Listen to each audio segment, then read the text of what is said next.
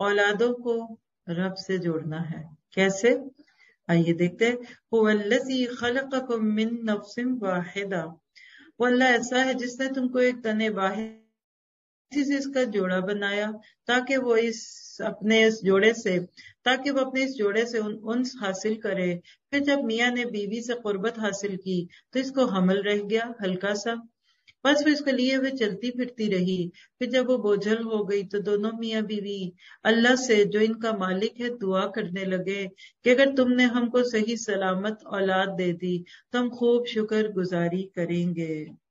बस जब अल्लाह ने इन दोनों को सही सलामत औलाद दे दी तो अल्लाह की दी हुई चीज़ में वो दोनों लगे। बस अल्लाह पाक है इनके शिरक से।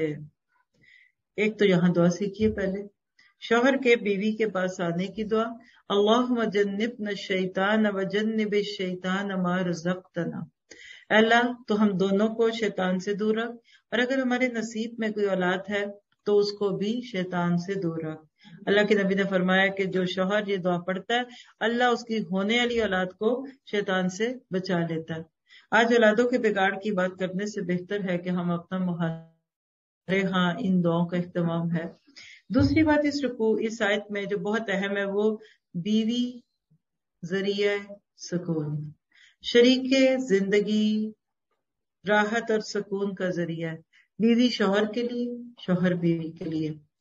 याद रखिए, जिनको घर से सुकून नहीं मिलता, वो बाहर भी सुकून नहीं लेते। या फिर वो कहीं लीकर स्टोर में जाएँगे, वहाँ और बेसकूने होंगे।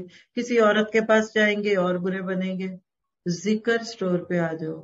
कुरान की तरफ़ आ जाओ हरस मिलती है। यहाँ औरत को खास तौर पे हा की जमायर में एक रिमाइंडर दिया गया कि तुम घर में अपने शोहर के लिए सुकून का ज़रिया बनाओ। अब सवाल यह कि मर्द ही बेसकून कर देने वाला हो तो क्या किया जाए? तो इस पे हम दूसरे बारे में डिटेल से बात कर चुके हैं। शरीक ज़िंदगी कैसे वसीला, राहत और सुकून है? मादी एतबार से भी। जिसमानी एतबार से भी, दिमागी एतबार से भी और रूहानी एतबार से भी। तन्हाइयों का साथी, हर ज़रूरत, हर ख्वाहिश पूरी करने के लिए कोई ऐसा बड़ा खूबसूरत इंसान साथ हो कि जो हमारे जज्बात को भी समझे, जो अपनी जिम्मेदारियों को भी समझे और ये आयत उसका अमली इजहार है। दूसरी बात इसमें, शिरक का मौजू है। कैसे औलादों को गैरों के नाम पे लगा देते हैं? दुनिया में आज भी हमारे अपने मुल्कों में कई ऐसे कह लीजिए कि दर है, जहाँ लोग औलाद लेने जाते हैं। हमारे पास एक ही दर का दर है।